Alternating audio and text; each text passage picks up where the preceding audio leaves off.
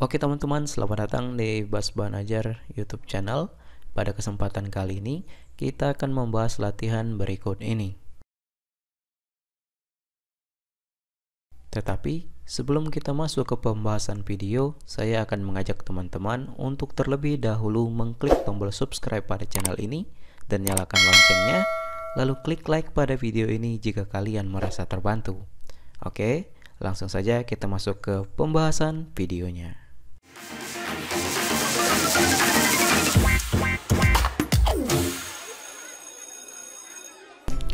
Oke teman-teman, di kesempatan kali ini kita akan membahas latihan yang ada di halaman 111 dan 112 di buku paket Bahasa Indonesia untuk SD kelas 4 semester 2 kurikulum Merdeka. Kita akan bahas pertanya dua pertanyaan ini dan juga uh, pertanyaan yang A sampai dengan yang D. Langsung saja kita baca ke halaman 111 terlebih dahulu dari nomor 1.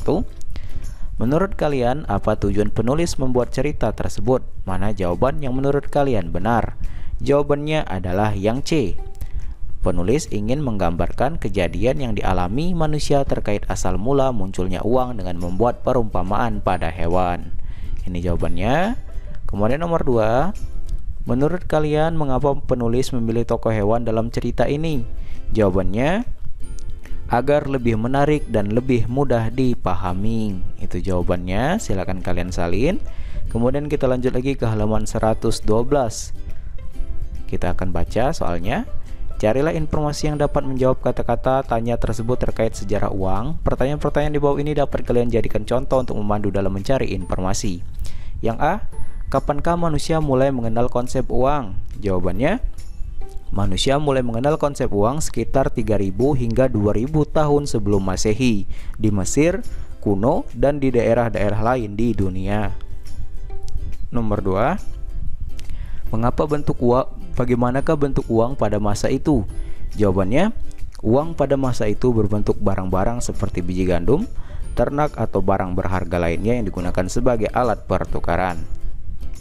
Yang C, Mengapa manusia menciptakan uang? Jawabannya, manusia menciptakan uang agar pertukaran menjadi lebih mudah dan efisien. Uang membuatnya lebih praktis daripada harus membawa barang-barang fisik saat bertransaksi. Kemudian yang D, bagaimana cara manusia memenuhi kebutuhan saat belum ada konsep uang? Jawabannya, saat belum ada uang, manusia memenuhi kebutuhan dengan melakukan barter, yaitu pertukaran barang satu dengan yang lain mereka menukarkan barang yang mereka miliki dengan barang yang mereka butuhkan. Nah itulah jawabannya. Silahkan kalian salin di buku kalian masing-masing. Semoga jawabannya bermanfaat dan membantu. Jika ada jawaban yang kurang jelas atau kurang dimengerti silahkan kalian tanyakan di kolom komentar di bawah. Saya akhiri video kali ini dan sampai jumpa di latihan berikutnya